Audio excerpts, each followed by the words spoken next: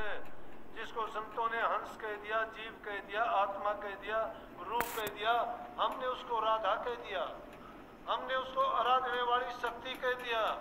वही परमात्मा की अंश है, और वही गुण इसमें भी होने चाहिए थे।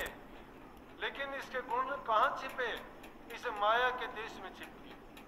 माया ने ऐसा खेल खिलाया इसको कि मार्ग से भटका दिया और जो जो ये दुनिया के झमेलों में फंसती चली गई, इस पर दुनिया के उल्टे सीधे जो कर्म के पर्दे थे वो चढ़ते चले गए और ये मलिन होती चली गई और अपने निज रूप को, निज घर को और अपने उद्देश्य को भूल बैठी नाते धोते रब मिलता मिलता डडुआ मच्छियाँ। जंगल भाग्या रब मिलता तो मिलता गाया बच्चियाँ। बुल्ले शाह रब नानू मिलता जी नित्य सच्चियाँ। ना तो अगर नहाने धोने से परमात्मा प्राप्त करता, तीर्थों में जाते हो। तीर्थों पे जाके क्या करा अंग झिकोड़ के आते हैं, मन का मैल नहीं धोते। जो बुरी आदतें पड़ी हुई हैं, खोटे मंदी जो हमने आदत और कर्म सीख रखे हैं, किसी की निंदा करते हैं, किसी की बुराई करते हैं, किसी की चुगली करते हैं, किसी के साथ धोखाधड़ी करते हैं, किसी के साथ कुछ कुछ करते हैं तो ये मन से ऐसे ऐसे गंदे मंदे कर्म करते हैं उस मन को तो नहीं धोते और इस शरीर को पानी में से रोज़ाना धोते हो। उसमें तो बल्कि थोड़ी बहुत मिट्टी भी बह के आती होगी, लेकिन घरों में उससे भी शुद्ध पानी होता है, उसमें रोज़ाना नहाने लगते हो, शरीर धोते हो, मन को नहीं धोते। नानक साहब तो कहते हैं कि तुमने अगर शरीर को तो मान लिया, जल से साफ़ कर लोगे, साबुन लगा के साफ़ कर लोगे कपड़ों पे अगर कोई दाग धब्बा है, उसको साबुन से, पानी से धो के साफ़ कर लोगे। पेशाब का या और किसी चीज़ का कोई भी उस पर मैल चढ़ा हुआ है, धब्बा लगा, उसको भी साफ़ कर दोगे। लेकिन तुम्हारी मति, तुम्हारा मन, जिसके अंदर ये सारे विकार और रोग भरे पड़े हैं, उनको तुम कैसे साफ़ करोगे? वो सिर्फ़ नाम के द्वारा ही धोए जा सकते हैं। तो नाम जब तक नहीं जपते हो, तब तक फिरता है। अगर उस नहाने धोने से गति होती तो मंडकों, मेंढकों की और मछलियों की जल में रहने वाले जीवों की हो जाती। नौ लाख प्रकार के जीव हैं। नौ लाख प्रकार के जीव हैं जल में। उनकी सबकी हो जाती कि हमेशा जल में नहाते रहते हैं, नहीं होता कुछ भी। अगर जंगल में जाने से होता तो गाय बच्चियाँ डांगर, पशु और जंगली जानवर जंगलों में ही रहते हैं बेचारे।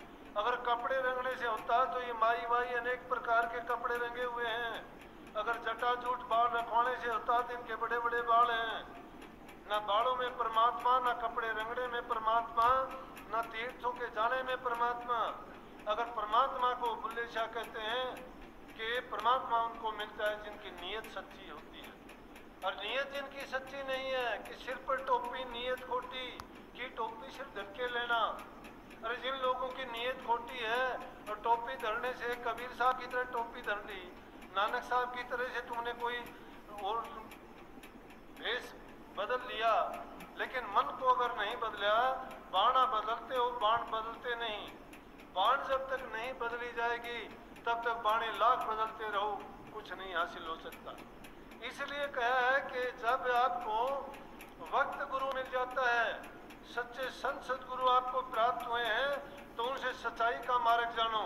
अगर तुम्हें झूठा गुरु मिला है, पाखंडी गुरु मिला है तो झूठे गुरु की टेक को तजत न कीजिए बार ऐसे जिस गुरु पर तुम्हारा इतबार नहीं है, जिसको समझते उससे ये हमें पाखंड में फंसाता है, या इसके पास करनी नहीं है, ज्ञान नहीं है तो वो गुरु जो खुद डूबने वाला है तुम्हें भी नहीं त्यार सकता।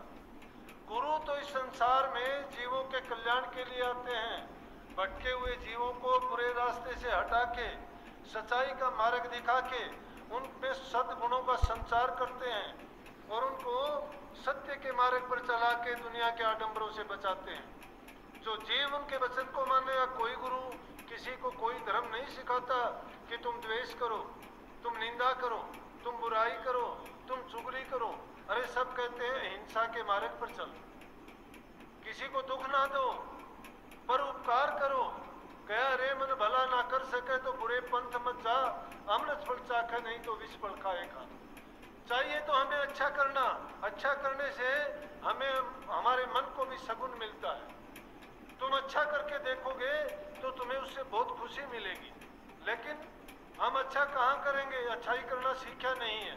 अगर अपने मन को अच्छा करने में नहीं लगाया है तो झूठी बात है, हम किसी नाम के गुरु के धर्म के पक्षधारी नहीं हो सकते। अगर तुम नाम को जपना चाहते हो, नाम का पूरा फ़ायदा उठाना चाहते हो, उससे अगर लाभ हासिल करना चाहते हो, इस जीवन में देखना चाहते हो कि नाम क्या है और मैंने अपने जीवन में क्या पाया है, कैसे मेरा कल्याण होगा, कैसे मेरे कर्म कटेंगे। बिना नाम के जीव के कर्म नहीं करते। अरे सतगुरु देता सतगुरु समझ ही तो देता है। जब सतगुरु से तुम्हें वो नाम रूपी समझ और ज्ञान मिल गया, अगर वो समझ मिल गई तुम्हें, फिर तुम्हें भय किस चीज़ का, डर किस बात का? फिर तुम चिपटते नहीं किसी चीज़ से।